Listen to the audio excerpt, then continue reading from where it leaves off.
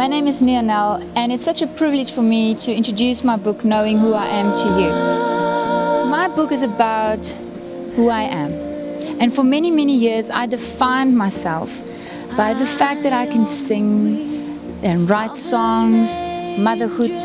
This is my journey of just discovering who I am, peeling off the layers. I'm not what I do, I'm not what I achieve, I'm not how I look. Not what I can create or think. I'm love. I'm the one thing that everybody wants out there, and that is love. We all want love, and love begins within ourselves. And being a mother, this was the first and only thing that I wanted to teach my three little girls, and that is to love themselves. And the only way we can teach is by our example. So I've written this book as a guide to love myself. Every now and again I forget again and then I refer back to my book it's a choice. I work on it every single day. But life begins when you're aware. And once you become aware, you're truly alive. And I am finally alive.